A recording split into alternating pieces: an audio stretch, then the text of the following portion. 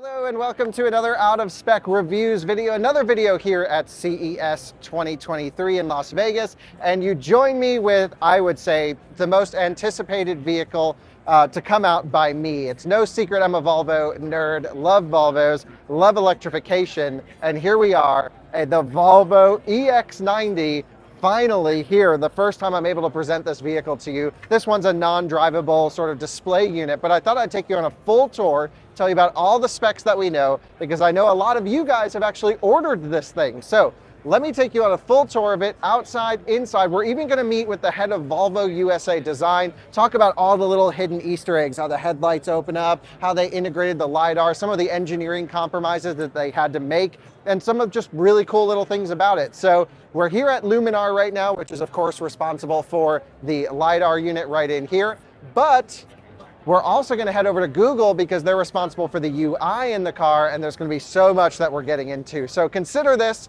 at least at this point, the most hopefully feature-rich, jam-packed info video on the Volvo EX90. This is, of course, Volvo's new seven-seat electric SUV. Now, it's actually built on the same platform as the Polestar 3, both of which are not yet available on the market. Polestar 3 will launch first. I will have a video coming to you on that at the soonest opportunity I can, I promise. But EX90 is really the boxy one, the one you can put everyone inside. And it's the one, honestly, we want with dogs. It's really, you know, the right size vehicle. So let's start front to back and talk about all of the features here. Um, and I guess starting with the front, there's a front trunk under here, which I'll insert a clip of just now so you can see everything going on in there. So to open the front trunk, you just got a little latch right in there. Cool. Pops open. And then let's see, uh, let's see the rest of the unlatching procedure. Aha, it is right at the end of the Volvo logo, as it should be. Very nice. And you have your Type 2 connection for Europe, a little, looks like a roadside kit of some kind in here, Velcroed in. That's really nice. Air compressor for your tire. Triangle, probably not for the US market. The largest windshield washing filling I've ever seen, but it's so smart because it always spills everywhere. So great to have the funnel to go in there. And then, yeah, just a nice, wide, pretty shallow, but plenty for charging cables, little accessories. I think better than not having it at all. So props to Volvo for that. And this is probably the most genius, wow, the most genius situation. This might be to get to your 12 volt. I'm not totally sure. It's some servicing situation. Of course, when we get one, we're going to rip the front trunk out of it to see what's under there. But nice work to Volvo for under the hood here. Front trunk is awesome. We'll talk about all the design with head of design for Volvo USA. You can see, of course, this Thor's hammer that was really beautiful. The headlights are actually behind this. So when you turn it on, they open up. It's super cool. I can't wait to show you that. It's just, I think, really the unique design aspect of Volvo. But of course, Volvo is more than just design. Safety always comes first. I think it's why I think we all kind of like them because you just get this reassuring feeling every time you drive a Volvo. And of course, I haven't driven it yet, um, but I can only imagine that this thing is just going to ride like a rock solid vehicle. We've driven every current Volvo product on the market, and they just are, of course, awesome. So sorry to fanboy out about this thing a little bit, but I just am loving it. Wheels, 22 inches on this particular one. Of course, there'll be different options two different powertrains. There's a twin motor and then also a twin power performance. So 402 horsepower base, 150 kilowatts, same power output as their XC40 recharge, and then 496 horsepower for the juicy one. So I'm not sure if that's a software tuned version or if it's actually a different motor. We'll have to play around with that. I believe Polestar 3 actually has even more power output and cool torque vectoring stuff on that particular one. What's also interesting about this is their dual permanent magnet motor, similar to XC40 Recharge. That's a bit of an interesting situation. We've seen Lucid do this, we've seen Tesla do this, but we've seen others go with an induction motor uh, to shut off while cruising. I'm not sure if there's a disconnect on here for one of the axles. I know XC40 Recharge doesn't have it. We'll have to wait to hear more a little bit about it uh, in the future. 111 kilowatt hour gross battery pack here, so juicy size battery pack. It hasn't been totally revealed, but rumors I'm hearing about 107 kilowatt hour usable, so very little buffer on this. Volvo is going to recommend a 80% daily charging limit, and then of course you can bump it to 100 when you need. And I think that's the way to do it. Some automakers don't allow you to use, uh, you know, they let you charge 100% every day, but put big buffers. Volvo says, hey, Our users are smart. You bought a Volvo, you know what you're doing. Charge it to 80% or less for daily, and then of course you can bump it up to 100 when you want. So come join me down the side here. So you have front motor, battery pack in the center, of course, and it's just looking nice. Take a look at the interior. I'll show you that here in just a little bit as well. I want to talk about, of course, the sound system, reference quality, Bowers and Wilkins, tons of speakers, tons of power. Um, just that's the way it should be. You guys know Bowers and Wilkins and Volvo stuff just absolutely rocks. We'll do a full interior tour, but if you come on over here, you can take a look at the back and we'll do a design brief, but just take a look at this C-shaped headlights, this pillar right here looking fantastic. Um, trunk space is massive as well, and it actually goes really high. So I'm gonna insert a view of the trunk space right here. Oh, check this out. Right, that'll show you what can fit in the vehicle and what doesn't fit, right? Shows you exactly like seating arrangements, widths and distances and everything. And then all the objects, right? That is so cool. Your luggage, golf clubs, all the way up to a fridge. You can understand what can fit inside the car. So whose idea was this? Uh, I'm not really sure, actually. That's a good question. I'll have to find out. It's really kind of cool. It's very IKEA-esque, if you will. Exactly. Super yeah. cool. And then if we just take a look at the, the boot space back here. So Will there be any underfloor storage in the production there is one? underfloor storage in the production one. It's actually quite deep too. Oh, really? Pretty, okay. Pretty, pretty, good amount of storage. Because the the motor would be underneath the rear seats, yes, I imagine. Where the axle kind of is here. It's basically along this line, the division line. Yeah, some somewhere right here in that that division line. Very cool. And then we have cup holders back here, USB-C ports, rear air vents, very important for the dogs. And um, yeah, of course, this one's a Euro spec, so you got the auto tailgate, but exactly. just like XC90, you can dump the air suspension, squat this thing to get stuff in there. There you go. Super sick. And guys, check this out. When you're sitting in the third row, headroom's always an issue for me in the last row, but look at how high the roof actually goes in here. It's hard on camera, but it actually slopes up.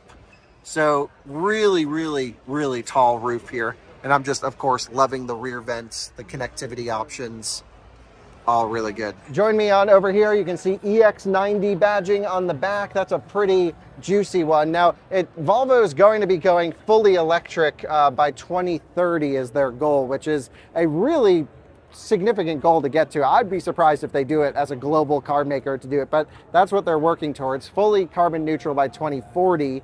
And um, this really sets the stage as their next generation stuff. We all know XC40 Recharge is built on CMA, compact modular architecture. It's a com adapted combustion chassis to be electric, and it's very inefficient. They actually drive amazing. I love that car but it's not a showcase for efficiency. I would be willing to bet this is probably not far off efficiency as an XC40 Recharge, just my guess, even though it's a much bigger vehicle. You can see just aero designed to be electric a little bit better here. Um, and of course, drivetrain should be optimized. Battery pack should be optimized to reduce everything. So here's the charging port. You'll see this one's actually a European spec version, so it has type 2 but in the US at least, it's going to support um, 11 kilowatt AC charging, and then they claim 250 kilowatt DC charging. And that brings up a big question to me because this is a 400 volt system architecture in this car, not an 800 volt system architecture. CCS typically only allows 500 amps.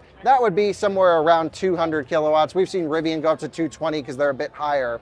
So to get 250 kilowatts, you're gonna need a ton of current flown at this thing, and I'm not exactly sure how Volvo is gonna do that with the regulations. Now, I think CCS is gonna start to open. We've started to see Signet units dump even more power into the cars than, uh, than 250 kilowatts. We've seen some crazy things on 400 volt system architecture cars coming. So maybe Volvo knows something we don't, and they're just going to take all the current. Of course, everything is liquid, liquid thermal management here. It will have preconditioning. It will have plug-in charge. So ISO 15118 plug-in charge will be available in this as well. Uh, to actually access the vehicle be cool. I wish I could show you all this stuff, but it's really early days. You'll have a phone key that can go up and unlock the vehicle uh, and, and more included. I mean, the technology should be pretty good, should be up to current spec and um, you know certainly a little bit better adapted I think than XC40 Recharge was uh, as an electric vehicle. This is really ground up. The EX90 will also support some other cool technologies that I think are interesting to note. The first is vehicle to X or vehicle to grid or even vehicle to home. Basically, the EX90 will support bi-directional charging. It's unclear to me whether that will be on AC or DC or both. We've seen F-150 Lightning do bi-directional charging with DC. We've seen Lucid do it with AC, uh, but tons of opportunity here for Volvo to essentially look to create a network of EX90s to support the grid during times of peak usage. And I believe they'll be launching that in certain markets, but not all. It just depends on, I guess, where they're sold and how easy it will be to integrate that in with different utilities. But also, and even more importantly than V to X, will be the LiDAR and the pilot assist technology. Uh, Volvo's using a Luminar LiDAR, of course, mounted on the roof. We're going to discuss the styling aspects of that here in a little bit, but just the driver assistance is going to be awesome. They'll have high definition mapping, but also, the, the system should work on roads that maybe aren't pre-mapped because current Pilot Assist does. Just a guess, we'll have to see. But based off of everything I'm seeing from Volvo, this should be one of the best driver assistance systems with the longest range seen far deep into, uh, in, into the advance of where you're heading, as well as just great lane change control and a few other things. Look, at the end of the day, we're going to run it through our hog back as soon as I can, uh, but it's just, uh, I'm glad to see them pushing the boundaries of driver assistance systems. And then, of course, all of the sensors adding up to a safer vehicle. One thing I thought was pretty interesting was actually look at the washer jets at the end of this uh, windshield wiper here. When the wiper goes all the way up, it actually sprays the LiDAR unit. That's the way they keep it clean. So pretty at neat. CES, where the schedule's a little bit crazy, but I want to say a huge thank you to our friends at Volvo for letting us sit in this particular one so we don't have to brave everyone over at the Google booth. They're going to let me sit in this one right here. So first of all, I'm going to tell you as much as I can feel, at least from just sitting in the car. So really nice door materials here, really nice door opening. You can see this wood trim actually has a backlit component. It's not on right now, um, but uh, it actually does light up from the back and gives you this really cool light signature, which is awesome. You can see the Bowers and Wilkins, uh, great right here, of course, always metal. It's not plastic. It is so nice. You can even see the speaker cone in there. A couple years ago, they went from a yellow cone to a white cone. I think I like the update as well. Take a look at this over here. We're not going to adjust anything, but we're just, you can see here, the, uh, the seating adjustment point is a square. So I'm not exactly sure how that's going to work, but it seems very interesting. This one is a wool seat with then uh, a fully leather-free interior, even though it looks like some leather components with the Bowers and Wilkins, you even get speakers in the headrest, which is pretty cool. So full reference quality, Dolby Atmos, first for Volvo in the car. I'm gonna step inside the EX90 for the first time. So this is a really cool, really cool momentous occasion. And here I am, wool seat.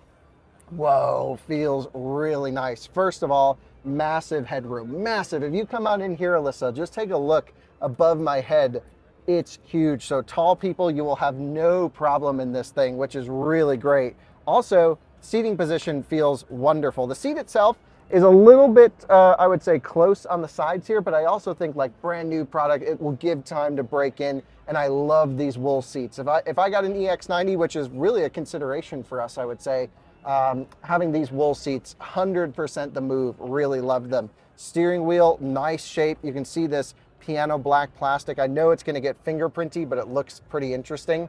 Um, one thing we're not able to do in this video that I was really hoping, and we might actually update you with a future video just because the Google booth is crazy, is I can't show you the full uh, Google operating system here. You can get an idea of how it looks here. So heated seats, controls, Spotify down here. It's 14 and a half inches really nice looking display, wireless phone charger. Not a fan of that personally. I think that takes up too much space.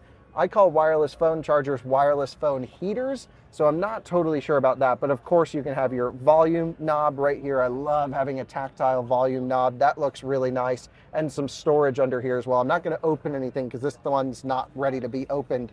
Um, but this is all production intent, all design intent. Love the frameless mirrors around. You can see also a message bubble, SOS lighting inside here, probably some ambient lighting.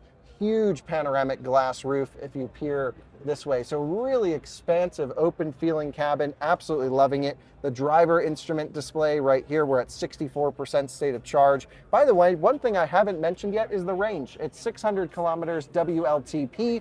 Uh, 300 miles is the estimated figure for the twin power, the base one, here in the US. So that's going to be an interesting one. You can see washer, front and rear over here on the left. Nice chunky turn signals. Love the design here. It's really next gen for Volvo. Also love the shifter. It seems to be identical to Tesla where you pull down again once in drive for cruise control and then park is pushing here on the end. So I think this is the correct way to do it.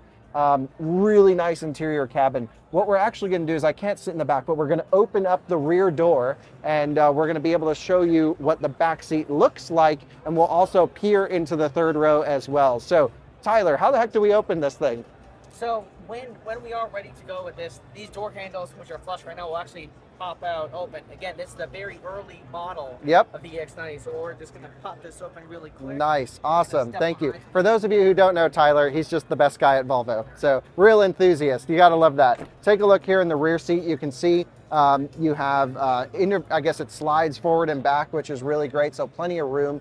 And uh, you can see this is how you would fold it into the third. You'll see a screen over here in the center, which looks like for climate control and uh, vents in the rear, which is really important. Not only do you have center vents, you also have B-pillar vents, which is super duper important. Volvo gets it, you know, just crazy. I, what funny is I was reviewing the ID Buzz in Europe and uh, no rear vents in ID Buzz at all. And it's like, that's a family vehicle. Volvo, vents everywhere. Third row, take a peek through this window or peer over top there. We know there's a ton of room for headroom and actually seemingly a usable third row for passengers as well. I'm pretty certain if we slid the second row up a little bit, I could fit in the third row, but that is going to have to wait until um, until we can actually drive this thing and spend more time with it. Maybe a few weeks, maybe a few months, maybe a few years.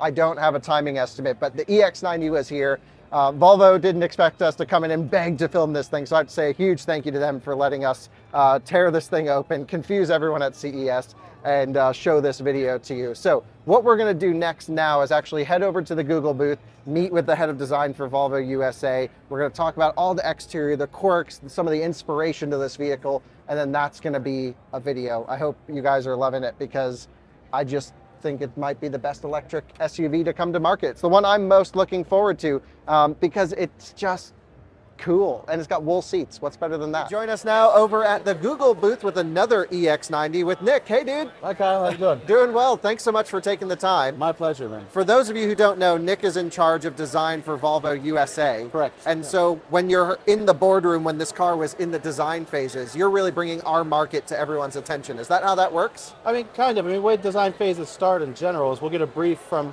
a couple different departments and then end up executing different designs, starting with sketches, play models, and then we end up showing the proposals in the boardroom, and you end up with a final product like this after a couple of years. And how hard was it to design this in your impression, if you just had an overview? Well, I mean, vehicle design in general is difficult, but luckily it's very fun, right? Like to me, it's a total dream job to be able to do this kinds of stuff. Um, these kinds of cars, especially EVs, that we're going to much more Volvo right now. We want to be full EV company by 2030. Yeah. Um, has all kinds of new challenges that we hadn't done before, and all kinds of new uh, sensors to put in, new design features. Um, you know, one of the, the my favorite points right here is the Ultimate Hammer headlight and this is um, uh, something we've had in our cars for a while. It's called Thor's hammer. Yeah. Uh, obviously, Thor, the god of thunder and lightning. Yep. Um, and it's uh, an image of the hammer and the lightning coming down out of out of the hammer as well. oh, right? cool. Yeah. And Yep. this showed up on our last generation of vehicles. Yep. And it was inspired from uh, earlier vehicles. 240 um, uh, Volvos had a similar graphic, and it turned into the Thor's hammer. But the interesting thing about this one now is that uh, the previous generation of cars had the high beams and low beams above the hammer. Yes. So you'd kind of lose that identity at night, right? Yep. And what happens now on this one is the daytime driving lights move out of the way and then turn off, and then the nighttime units turn on. So you still have that very pure signature. and that act of it moving just blew everyone's mind on the car. I, the first time I saw it too, I mean, I, I worked for the company. I was Yeah. like, this is an amazing piece of design. Right? And like from an actuator standpoint, obviously, like you have components in the headlights that are moving. Um, is this was that hard to do? Like it's complex. It's yeah. expensive too, Different department though. Yeah, we, we, nice. we come up with these big ideas and, and then try and pass it through There you go, you guys help us out. And Yeah. uh, you know, they really there you go. You can get an idea. Of, Oh, so it just cool. moved out of the way. Yeah. That is amazing. Yeah. Really cool. Really interesting thing here too is this is a 1.3 megapixel light as well. So there's all kinds of technology packed into just this one. So it's individual pixels projecting. individual LEDs. Yeah, Wow, that's pretty sick. If there was a wall here too, you could see that when you uh, the car welcomes you with the actual Thor hammer projection on the wall. Oh, really? Yeah, yeah, That's really cool. cool. Yeah. And so I imagine at least uh, maybe it will be allowed in the U.S. or not, but adaptive driving beam where you can do all the split lights. Exactly. The Volvos already have this, of course, Right. in Europe, so that makes sense. But in terms of its sizing, how similar is this to XC90? We've reviewed many times XC90 Recharge on our channel. Our audience is familiar with that car. Is this similar in size? So the car is about five meters long. Uh, Okay. it's got a uh, 29, uh, about a 2900 uh, millimeter wheelbase. Okay, the long Um, wheelbase then. What's that? Long wheelbase. Yeah, long wheelbase. I mean, electric cars in general, their platforms tend to be a little bit longer because you have all the technology for the batteries a little bit lower, right? Yeah. So its strength uh, makes it a little bit longer. Yeah. It's About two meters wide, about 1.7 tall. So similar in size, a little bit longer, a little bit more trunk space in the back. Oh, interesting. Um, yeah, nose is a little bit lower. So similar dimensions, but kind of optimized because of the electric platform that's inside of it. Something to talk about on the front end Yeah. too here. Um, really interesting feature here is that because the car's electric, we don't need to have a big grill in the front of the car anymore. you Right, I'm mean, right? noticing you have flaps down here that open and close automatically. down Exactly. Yeah. So that's all active aero at the bottom. Yeah. Um, and the entire front nose here, we've taken away, you know, the massive large grill, and this is a design feature we call the shield in the front of the vehicle, yeah, right? yeah. And then offers a really great space for the iron logo, or iron mark, and the logo. Also has two sensors integrated into there. Yeah. Uh, we have a full sensor suite on the vehicle, 30 sensors overall. Yeah. Um, 16 ultrasonics, um, eight cameras, five um, radar, and one lidar on the top. Yeah. We've uh, reviewed some NIOs on this channel that have something similar up top, but I believe this is the first global vehicle with LiDAR on the roof as standard. Right. Correct. And how did this conversation go overhead? Was there a little bit of Yeah. pushback, like you want to get it off the roof, but LiDAR can see better? Because it does look a little funky. Well, um, you know, I think design is subjective in general, right? Yeah. And I think new technology is kind of disruptive by its nature, right? So this is a piece of technology I think people will end up seeing on more vehicles and becoming more comfortable with it. Um, the the concept of having it on the roof, though, the way we look at it is Volvo in general has such a huge um, uh, stake in safety, right? And this is the optimum place you would need it to see as far ahead as possible. Sure. And the way we always kind of um, were explained and uh, engineers were telling us is that in nature, animals don't have their eyes low to the ground. They're typically at the highest point so you can see Hmm. like out, right? Like Yeah. um, animals that uh, are searching for predators, very long necks, they can see very far away, right? Um, looking forward. So putting it there uh, gave us the optimal vision angle to see as far away as possible. You can see 250 meters away at night, which Wow. is a long way ahead, Amazing, right? yeah. And to me, you know, this this will save lives, right? And putting it there was for the most functional uh, purpose possible. And Volvo in general, um, part of our design principles are form follows function. Yep. You know, functionality is a massive part Why of our story. Why we love Volvos, bricks on exactly. wheels. exactly. There you go. There you go. Bring the brick back. A buddy of mine Oh, always I tells me. w- that'd be amazing. My first car was a 240 DL. Oh, no way. Yep. That's when I was awesome. 16, I, I, I vivid memories of that car as Rear well. wheel drive, sweet speed. We love it. um, so interesting noticing the handles here. Hadn't seen Yeah. this before. So- little actuator in there. Yeah, it's a little actuator in there. This is all part of our flush design strategy too. So if you look at the side of the car, everything's really flush. There's no caps on any of the pillars here. Oh, all the glazing is completely Man, it zero looks like someone just took a chainsaw right down the side. Well, we were a little more subtle than the chainsaw, right? But we got there um, either way. And so these fold down when uh, you're not driving. Aero is a huge component to this vehicle too. Anything that has to do with range um, is a big conversation for us in design. and how much does that like obviously evs obviously you don't have a big engine you don't have Yeah. design, you know emission stuff you can get a little bit more creative with your design Sure. or is it more difficult because you have all these new aero requirements that really impact range figures Both. Okay Yeah, so absolutely. fun and a pain in the Yeah, ass exactly. Extreme job, right? yeah so I mean that's where the challenge of design comes in, right? Like you get these mission impossibles and you have to figure them out, right? Yeah. At the end of the day, I think we've really succeeded here in everything. You can see they just retracted and it's completely flush. And every we fight for every little count with Aero right now, right? Yep. Um, the car's a 0.29 um, coefficient of drag, which is very competitive, uh, Yep. very impressive for such a, Yep. a large car. And every little bit counts. So these going flush, the glazing going flush. The rear um, overhang is a little bit longer than the other car. Yeah, and I'm even noticing it tapers in a little bit back There's a here. lot of taper. So that's a big aero component. Is the more kind of taper and the longer the rear end is, you tend to get um, better uh, aero Yeah. uh, figures. Front end is very round. And there's ways companies can do this, like putting you know all kinds of extra gadgets and stuff on the vehicle. Adds to weight, adds to complexity. Volvo, we're kind of all about simplicity and beauty at the same time. Yeah. So you get this really clean design, right? Where there's not a lot of stuff hanging off. I of it. mean, I'm not a design guy. You know, I love driving stuff fast, but this, in my opinion, is the best looking electric Oh, SUV I've appreciate seen. that. So Yeah. it just like you did because it's just simple. It's very Nordic, in my opinion. Yeah, It's well, great. I mean, Volvo, um, you know, we're based in Scandinavian design as our kind of design pillars, right? So, um, simplicity, functionality, and beauty we see is kind of seamlessly working together. Yeah. Um, you know, also the the our kind of commitment to nature with a vehicle like this, we want to go zero emission is also very Scandinavian.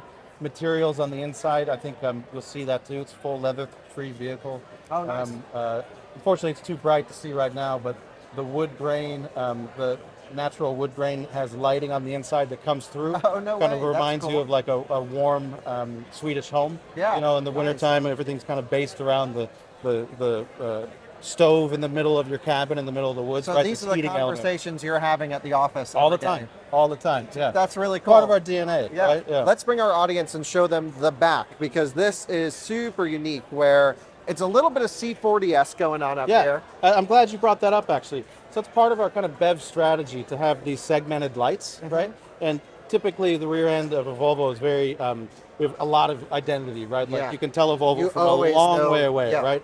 So we wanted to do that here too, to where we still have this very, um, you know, identifiable Volvo signature, the C shape, and then the segmented lights at the top that are, yeah, similar. Good, good eye on you to notice that, like the C40. Well, I have to thank you for not doing a light bar.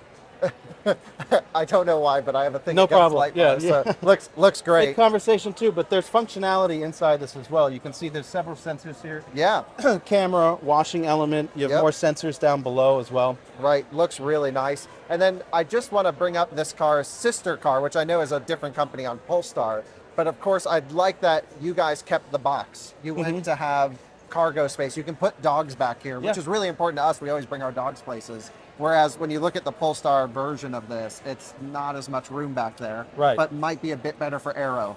Absolutely, both, right? Yeah. Um, and this is a full seven-seat vehicle, Yeah. right, which is unique to, um, to uh, Volvo. Yep. Um, we have quite a bit of uh, seating capacity in there. Uh, seats you can actually sit in as an adult. Like, Yeah. when you get the demo later, maybe try to see if you can talk them into letting you into the rear. Yeah, I want to try out that last row in there and see what that's all about. So, um, I guess just to kind of finish it off, we got roof rails up here. You Roof can put rails. your box on the top, which is great. We got big ass wheels, 22-inch wheels. right? 22s. Hell yeah. That's another um, uh, point to talk about here. Is it's an aero cover over the wheel, right? Yeah.